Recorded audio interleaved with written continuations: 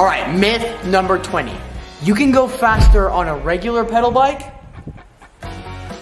than you can on an electric bike. All right, to test this myth right now, Steven is gonna pedal his bike as fast as he can, past that sign that will tell us how fast he's going. Not the athletic one. He thinks he's in better shape than me, so that's what he's gonna do. Let's see if he can do it.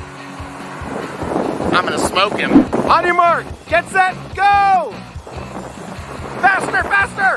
He comes down the street as fast as he can go. Here he goes, here he goes. What's his speed? 19 miles per hour. That is actually not bad. Let's see if I can beat that. So, Steven, you went 19 miles per hour. Not bad. I didn't have a ton of a run up. That's a lot of that's a lot of speed. I'm actually really impressed. Maybe this myth is true. Maybe. We about to find out on this new electric bike. All right. On your marks, get set, go. I'm not even pedaling yet. You gotta go faster. All right, here it comes.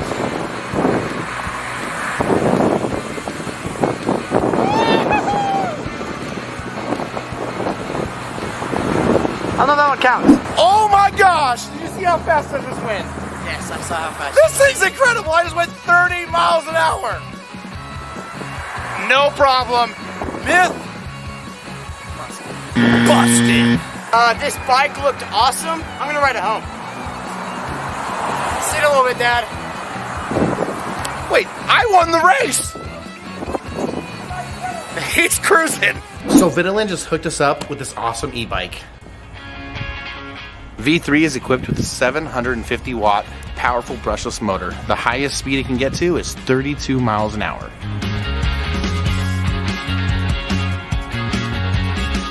Seriously, guys, this thing goes so fast and it can go 25 to 30 miles in pure electric mode. That's how long the battery life lasts. It's insane.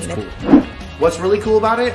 It's super light, so it's really easy to transport and move around. It folds in half so you can put it in your trunk. It's a really cool bike. If you want to engage boost mode, you just keep pressing the minus button. It has a boost, Boost mode!